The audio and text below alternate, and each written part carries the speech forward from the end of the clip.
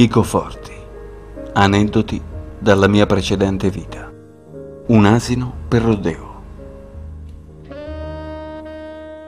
Questa avventura ha luogo nell'estate del 1985, poco dopo le guerre puniche, tra la cittadina di Hood River e Dulles, nello stato dell'Oregon.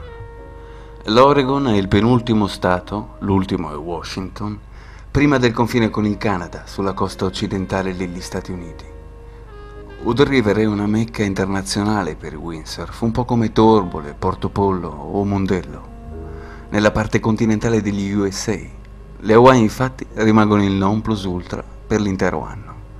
Si tratta di una zona che assomiglia molto alla terra mia, il Trentino, sovrastante il paese il Monte Hood, con la vetta coperta di neve. È una calamita per snowboard e rafting wild. Il rafting wild sostituisce canoe e gommoni costosi, con camere d'aria ad anello per non scivolare, anche se poi inevitabilmente si finisce per sbattere la testa contro l'estremità delle varie rocce ostacolo del torrente, con cascate e salti di 6 e 7 metri. Le piste ciclabili sono ovunque, sia per il rampichino che per la bicicletta da strada. A differenza con il Trentino, invece, di tanti laghi ci sono due fiumi, Lud River ed il Salmon River che da piccoli hanno preso gli steroidi anabolizzanti. Il gigantesco fiume Hood ha una caratteristica perfetta per la pratica del windsurf. La corrente del fiume, infatti, viaggia in senso contrario alla direzione del vento. In caso di danni all'attrezzatura, alberi, vela, si rimane a bagno nello stesso posto facilitando il soccorso. Sul lago di Garda invece, con il vento da nord, se ti si rompe l'albero a Torboli, nel giro di un paio d'ore ti devono venire a recuperare a Malcesi, dal Trentino al Veneto. Unico grande svantaggio è che l'Ud River è una delle rotte principali per le chiatte addette al trasporto legname. I tronchi tagliati vengono trascinati al traino di queste enormi chiatte chiamate barks, formano un treno marino d'oltre un chilometro.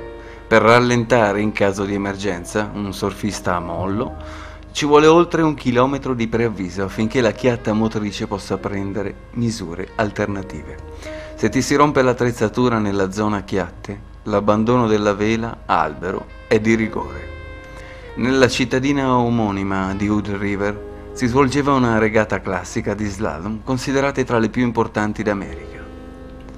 Nel periodo estivo le condizioni di vento sono ideali, con un vento termico costante, rinforzato dall'effetto Venturi. Il fiume in quella zona scorre in una stretta valle. I migliori atleti si ritrovano a partecipare a tratti anche dall'elevato Montepremi, un fuoristrada Mitsubishi Pajero nuovo di pacca. Quell'anno vinse un americano di nome Nevin Saire, in seguito diventato il guru personale dell'ex candidato democratico alla presidenza USA John Kerry, la mia solita fortuna. Se lo avessero eletto, sono certo che Nevin avrebbe mosso il mondo per farlo intervenire nel mio caso ed aiutarmi. Invece, Bush. L'atmosfera della regata era tipica del villaggio degli surfisti. Musica a tutto volume e gioventù spensierata e mezza nuda. I cowboys locali non approvavano questo modo di vivere, preso come mancanza di rispetto per le vecchie tradizioni. Inevitabilmente si scatenavano quotidianamente delle zuffe con l'intervento della polizia locale, come nei film, ovviamente sempre in difesa dei cowboys. Spesso ci venivano tagliate le gomme o rotti i finestrini delle vetture l'unico intervento delle autorità era quello di farci capire, senza mezzi termini, che non eravamo molto graditi da quelle parti. A molti operatori locali però tornavano utili le entrate generate dal nostro gruppo. Si rendevano conto che la comunità sportiva rappresentava dei buoni affari per la cittadina. Chiunque poteva capire che la numerosa frequentazione dei surfisti rendeva dei notevoli proventi. In quel periodo poi l'Oregon era in forte depressione economica e il turismo sportivo, anche se a volte fastidioso, rappresentava una buona componente per rivitalizzare l'economia locale. Io, nel mio piccolo, cercavo di mediare tra le parti come meglio potevo, facendo da pacere, invitando tutti alle nostre manifestazioni post regata e facendo in modo che poi i cowboys ci invitassero alle loro feste. Fu così che ci chiesero di presenziare al più importante rodeo di Dallas, a poca distanza da Hood River. I rodei in questa parte degli Stati Uniti sono presi in seria considerazione, un po' come le corride in Spagna, ma totalmente incruenti. Sono però esibizioni fisicamente ad alto rischio. Dopo esserci consultati, decidemmo di accettare questo calume della pace e di andare a vedere di cosa si trattava. Io però avevo un progetto in mente. E se invece di assistere solamente tentassi di parteciparvi? Premetto che la doma del cavallo e dell'asino selvatico erano gli highlights del rodeo insieme alla cavalcata del toro. L'asino selvatico infatti compensa l'assenza di corna con un'area di scalcio a 360 gradi ed è un morso temuto anche dai più spavaldi.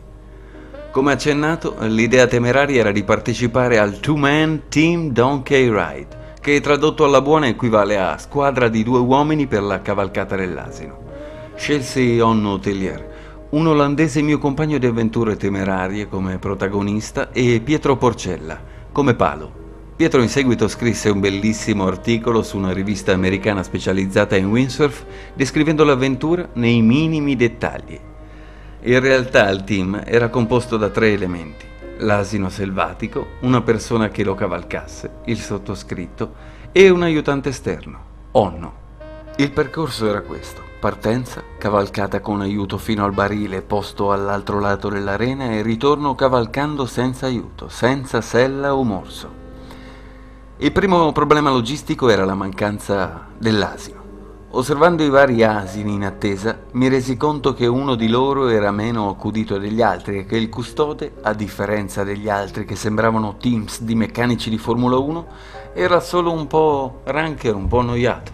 Da lì l'idea per la prima fase del piano. Chiesi a Donno di andare al più vicino market e di comprare una decina di carote pretagliate. Dopo pochi minuti Onno fu di ritorno con le carote. Ci avvicinammo tipo comando di intervento speciale all'asino del team con le pezze sul sedere.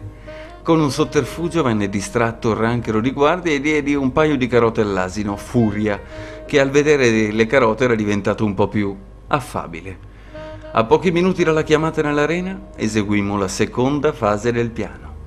Onno si avvicinò al ranchero titolare Ryder, dicendogli con una faccia tosta da Oscar che gli organizzatori avevano richiesto di vederlo urgentemente. Alla sua richiesta un po' stupita, Are you sure it's me? Sei sicuro che vogliano me? Onno, con la faccia di bronzo, gli rispose Without doubt, senza dubbio. Alla sua successiva frase What's I gonna do the donkey? Cosa faccio con l'asino? Risposi prontamente che gliel'avrei badato io nel frattempo. Come si allontanò, usando il sacchetto di carote come esca, fece entrare il nostro asino nell'arena insieme agli altri partecipanti. Come venne dato l'ordine di monta, nel senso di salirci sopra? Che cosa stavate pensando? Con l'aiuto di Onno salì sulla groppa di furia, così lo avevano battezzato nel frattempo, che in quel momento incominciò a comportarsi davvero selvaggio, scalciando, mordendo, agitandosi in tutte le direzioni. Un cowboy come starter diede il via alla competizione con un colpo di pistola. Partecipavano 12 asini imbizzarriti che non avevano la minima intenzione di raggiungere il barile preposto. Prontamente Onno estrasse un paio di carote correndo verso il barile. Furia non se lo fece ripetere due volte ed in un attimo ero sballottato in groppa, mantenendo la monta come potevo ad inseguire Onno verso il barile. Riuscimmo a far passare il barile dal lato prescritto ed Onno, non potendo più aiutarmi, le regole erano chiare, il tragitto di ritorno doveva essere fatto senza aiuto esterno, mi gettò il resto delle carote e mi disse ridendo a crepapelle, Good luck, buona fortuna. Mi spinsi oltre la testa di Furia, facendogli vedere ed annusare una carota e riuscì in qualche modo a direzionarlo verso il traguardo. Dopo circa un quarto d'ora dalla partenza, tagliai il traguardo, vincitore ed illeso. Furia era diventato incontrollabile perché nel frattempo avevo fatto sparire le carote rimaste e chiaramente eh, non era molto d'accordo con quella mia decisione.